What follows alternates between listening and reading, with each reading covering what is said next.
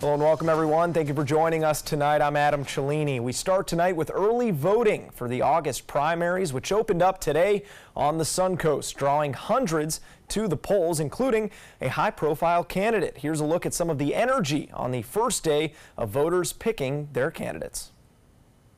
There are several reasons to vote on the first possible day.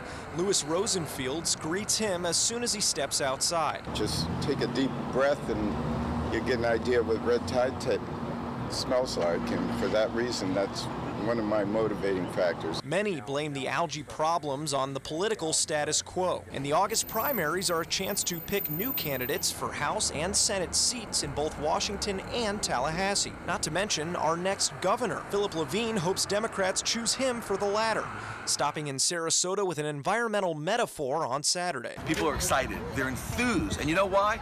Because they know they need to get out there and vote, because they got to get rid of this red tide, and the way they get rid of this red tide is with a blue wave. State Representative Representative candidate Melissa Howard made waves this week when she admitted to lying about a college degree before stepping out of the race. But election offices can't yet remind voters to ignore her name still on the ballot. That hasn't happened yet because we're still waiting for that official notice from the state of Florida. But as soon as that does, those notices will be posted in voting booths and early voting around the county. August is about more than just primaries. Bipartisan races for judge and several school board seats are also open to voters. At a school board board candidate forum, Bridget Mendel watched a former governor appointee debate a challenger. Being able to appoint people to our local board is strips us of our local control, and it's time for the Manatee County residents and taxpayers to take that back. Oh, everything is uh, advertising and hype, but the reality is when I walk in there, I, I have my say.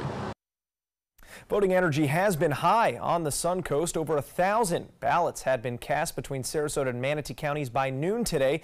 Not to mention over 55,000 vote by mail ballots already returned between the two counties. And if you have any questions about where you can go to cast your vote, we have a list of early voting locations up on our website, mysuncoast.com.